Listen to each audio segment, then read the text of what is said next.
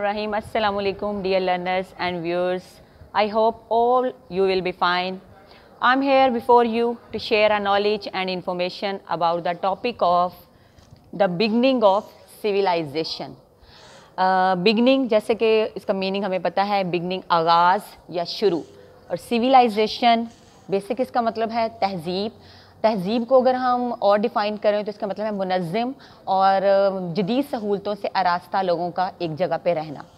The beginning of civilization it's our today's topic okay first of all I think so we should define the definition of civilization civilization came from the Latin word Swiss, which means city dweller, यानी कि शहर में रहने वाला। ये Latin word से निकला है, जिसका मतलब है स्विस और इसका मतलब है कि शहर में रहने वाला, यानी सिटी ड्वेलर ह्यूमन सोसाइटी इंसानी माशरा जो कि एक मनज़म तौर पर जब उसने रहना शुरू किया तो उसने बहुत सारे डिफरेंट सिटीज़ को बनाया. In short we can say civilization means living together in urban settlement urban कहते हैं शहरी को और सेटलमेंट किसी एक जगह पर आबाद होना। यानी शहरी आबादी का एक जगह पे आबाद होना। And the modern way of life is called civilization यानी कि जदीद सहूलतों से रास्ता और जो आपकी लाइफ को ईजियर कर दे वो सिविलाइजेशन का नाम है। ओके okay, ये तो थी हमारी definition okay i think so कि definition we should take a view of the past. Uh, मेरा कहने का ये मतलब है कि हमें ज़रूरत क्यों महसूस हुई सिविलाइजेशन के आगाज़ की? तो इसके लिए अगर हम थोड़ा सा अपना पास्ट का रिव्यू लें तो पहले वक्त में इंसान जो था वो सिर्फ़ अपने बारे में सोचता था अपने खाने की फ़िक्र करता था और अपने ही तन को ढांपने के लिए वो जो था वो सारी ज़रूरियात अपनी प्रोवाइड अपने आप को खुद ही करता था। मतलब इंसान गारों में रहता था, जंगलों में रहता था, उसको नहीं पता था कि मैं कैसे खाना पीना है, कैसे अपने रहने का बंदोबस्त करना है और उसकी साथ जुड़े हुए लोगों के साथ उसकी क्या ज़रूरियात हैं, उनको पूरा करने की उसको कोई टेंशन नहीं थी। ये सारी चीज़ों को देखें अगर तो इसका मतलब ये था कि इंसान अपने आप में आज़ाद था। इंसानों का वजूद इकट्ठा होना एक जगह पर मुनज़म तरीके से वो सिविलाइजेशन के आगाज़ का बाइस बना। अब अगर हम बात करें कि दुनिया की ओल्डेस्ट सिविलाइजेशंस कौन कौन सी थी इंसानी तारीख इस बात की गवाह है कि दुनिया में बहुत सारी ऐसी पुरानी सिविलाइजेशंस यानी तहजीब आई हैं जिसने पूरी दुनिया में और आज की दुनिया में भी बहुत तहलका मचाया है। तो अगर हम अब बात करें, सबसे पहले हमारे हैं मैसोपोटामियन सिविलाइजेशन मैसोपोटामियम ये दुनिया की सबसे ओल्डेस्ट सिविलाइजेशन और सबसे फ़र्स्ट सिविलाइजेशन थी, जिसने पूरी दुनिया में तहलका मचाया। Next Egyptian civilization number three Indus valley civilization and the last one ancient China civilization okay learners ये तो थी हमारी दुनिया की पुरानी सिविलाइजेशंस का इंट्रोडक्शन हमारा आज की जो डिटेल इंट्रोडक्शन है, वो है मैसोपोटामियम सिविलाइजेशन चलें okay now come to this here Mesopotamian civilization का अगर हम इंट्रोडक्शन देखें तो वो ये है जी it came from Latin word it's also a Latin word mesos जिसका मतलब है दरमियान एंड पोटामिस यानी कि दरिया, दरियाओं की जमा. मिसोस दरमियान एंड पोटामिस दरियाओं, ठीक है? अब ये कहा यह जाता है कि जो मैसोपोटामियन सिविलाइजेशन थी, ये दुनिया की फ़र्स्ट सिविलाइजेशन होने के अलावा ये सबसे डेवलप सिविलाइजेशन थी। इसमें बहुत सारे करैक्टर्स, बहुत सारे अचीवमेंट्स, बहुत सारी डेवलपमेंट्स ऐसी हुई कि जो आज की दुनिया पे भी जिसके असरात बाकी हैं। अब इसके हम मेन जो इंट्रोडक्शन थे, इसके बारे में इसका थोड़ा और जायज़ा ले लें। It existed around 5000 thousand B C E यानी पाँच हज़ार साल कबल मसीह अगर देखें तो इसका वजूद आया, ठीक है? इस सिविलाइजेशन को हम क्रेडल ऑफ़ सिविलाइजेशन का नाम देते हैं। Why is it call cradle of civilization because cradle कहते हैं झूले को और सिविलाइजेशन ऑब्वियसली तहजीब। इसको ये नाम इसलिए भी दिया गया कि इस तहजीब के वजूद में आने के बाद बाकी दुनिया की जो रिमेनिंग सिविलाइजेशंस थी, जिनका हम अपने फर्दर लेक्चर में इसका, इसके बारे में पढ़ेंगे, उसका वजूद में आया, वो वजूद में आई, ठीक है? ओके नेक्स्ट है जी settle between two great rivers Tigris and Euphrates अच्छा अब ये इस अगर हम दुनिया की पुरानी तहजीबों के बारे में इंट्रोडक्शन लें तो ये वाजह बात है कि जितनी भी तहजीबें दुनिया में वजूद में आई, वो दरियाओं के किनारे पर बनी या वैलीज़ में बनी। वो क्यों बनी? वो इस वजह से कि वहाँ पे रहने वाली आबादी को दो चीज़ें प्रोवाइड जो थी, वो बहुत बासानी हो जाती थी। एक तो उन्हें पानी साफ़ सुथरा पानी, और दूसरा फर्टाइल सॉइल यानी जरखेज़ ज़मीन, जिससे वो कल्टीवेशन या फ़ार्मिंग को वजूद में ला सके। अच्छा ये दुनिया के दो ग्रेट रिवर्स के दरमियान में है, इस सिविलाइजेशन का वजूद है टाइग्रिस अजीम दरिया दजला, जो कि आज के प्रेजेंट अराक में मौजूद है, और यूफ्रेटिस फरात ये दो मशहूर दरिया जो हैं, ये रिसेंटली हमारे जो है मॉडर्न अराक में पाए जाते हैं। फिर उसके बाद फ़ेमस किंगडम्स सेटल हेयर दुनिया की अजीम सल्तनतें जो थी, वो इस सिविलाइजेशन में उनका वजूद पाया जाता है, जो कि Sumerians Akkadians Assyrians and Babylonians Sumerians Akkadians Assyrians and Babylonians ये वो मशहूर ये चार वो मशहूर किंगडम्स सल्तनतें हैं, जिन्होंने आने वाली रहती दुनिया तक जिनके तरक्की के और जिनके अचीवमेंट्स के असरात जो हैं वो आज भी देखे जा सकते हैं। अगर हम इन सारे इंट्रोडक्शन के बाद ये देखें कि क्या मैसोपोटामियम सिविलाइजेशन अभी कहाँ पे मौजूद है तो ये कहे, कहेंगे हम कि आज के जो मॉडर्न डे के जो हमारे बिगेस्ट कंट्रीज़ हैं मोस्टली ये इस्लामिक कंट्रीज़ हैं Iraq Iran Kuwait Turkey and Syria यहाँ पे इन इस सिविलाइजेशन का वजूद जो है ना मौजूद है।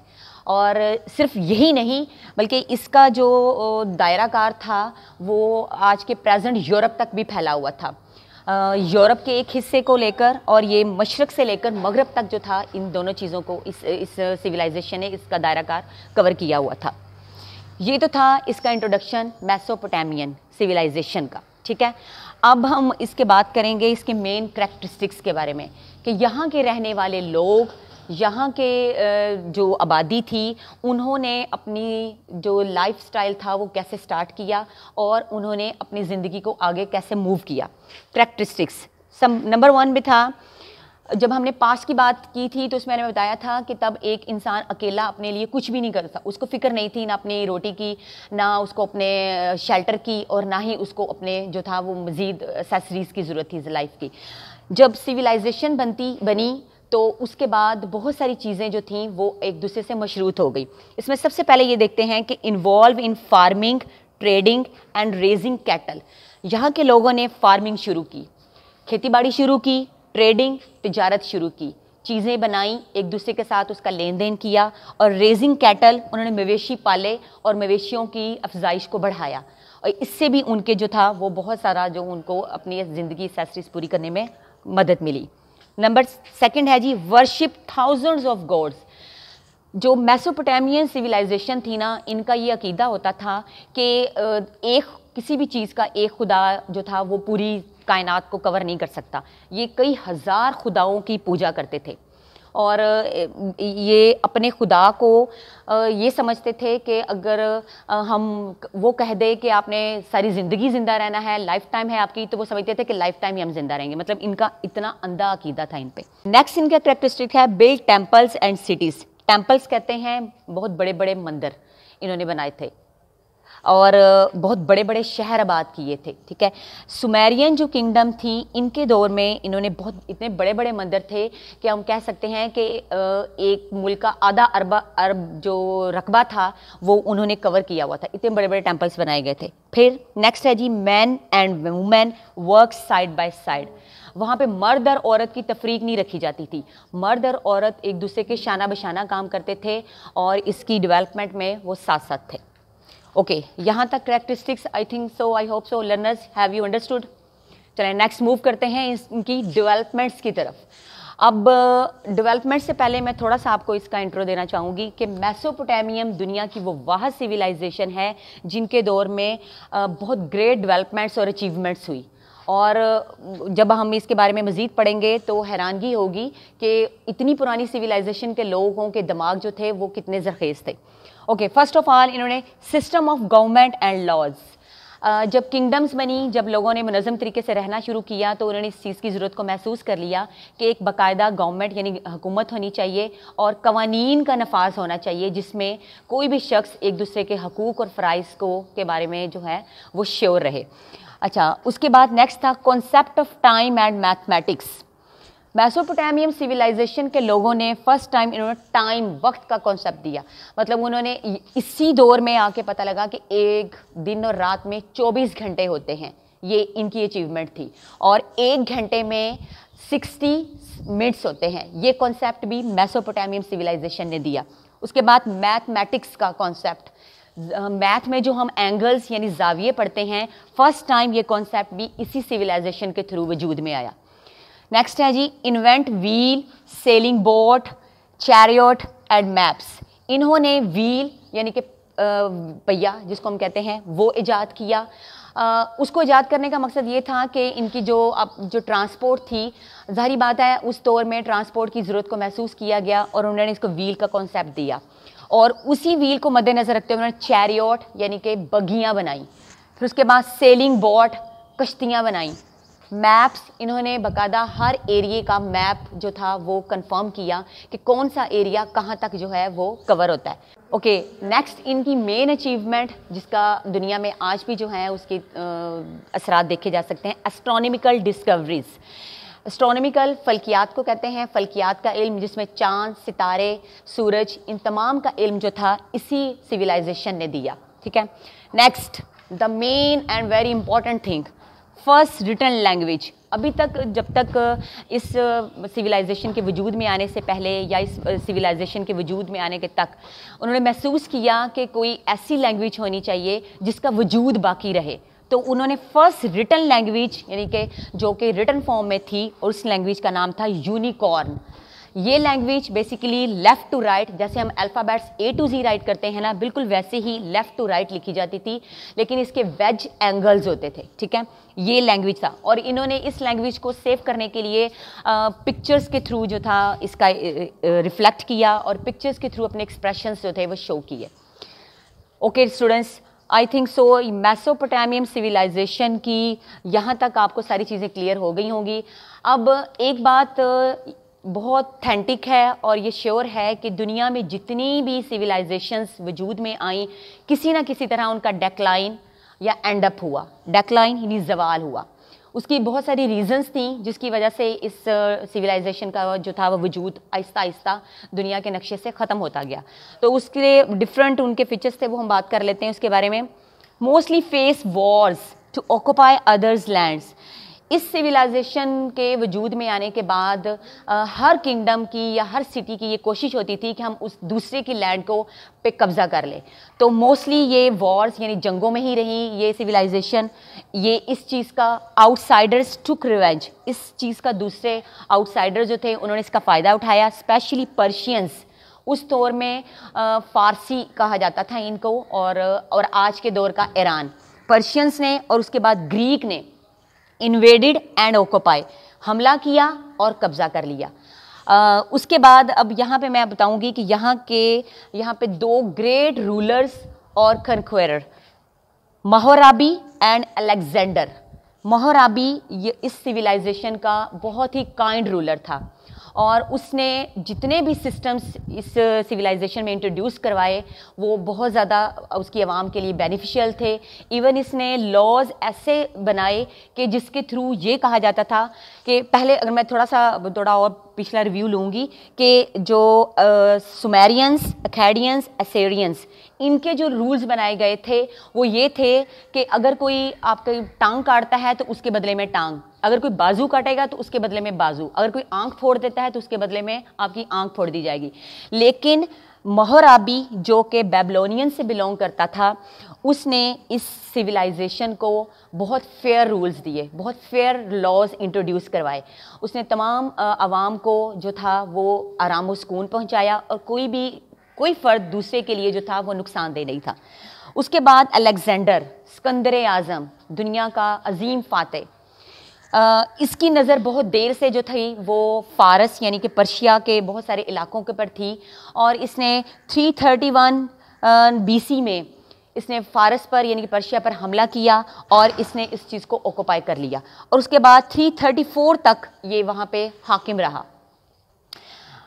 ये दो अजीम फाते थे जिन्होंने जो था वो अब इस सिविलाइजेशन पर बहुत अरसा हुकूमत की। उसके बाद वन सिक्सटीन सोल एक सौ सोलह एडी में।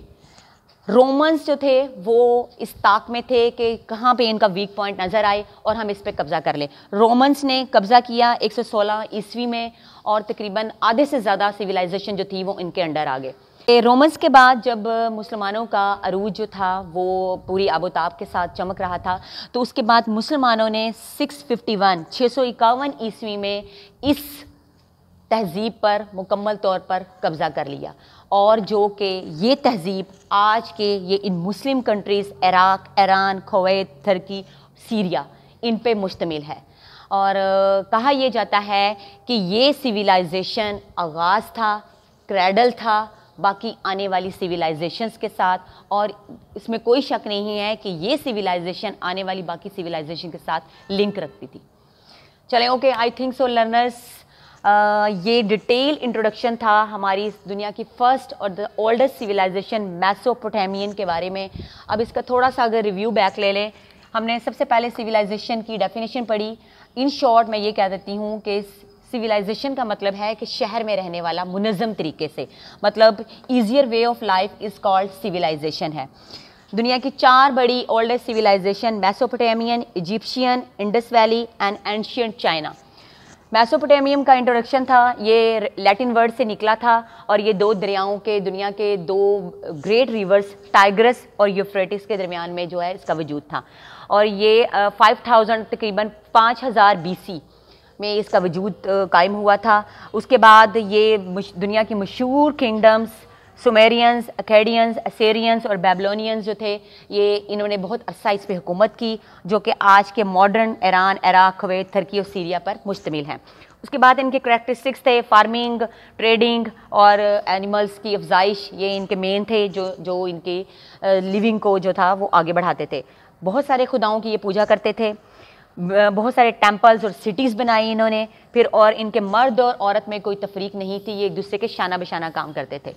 डेवलपमेंट्स की अगर बात करें गवर्नमेंट और लॉज का नफाज हुआ टाइम और मैथमेटिक्स का कॉन्सेप्ट दिया गया आ, व्हील का बॉट का बगियों का मतलब ये ट्रांसपोर्ट थी इनकी और मैप्स का कॉन्सेप्ट वजूद में आया एस्ट्रोनॉमिकल डिस्कवरीज यानी कि फल्कियात का इल्म वजूद में आया फ़र्स्ट टाइम और दुनिया की पहली रिटर्न लैंग्वेज सबसे पहली यूनिकॉर्न लैंग्वेज जो थी इसी तहजीब के थ्रू वजूद में आई।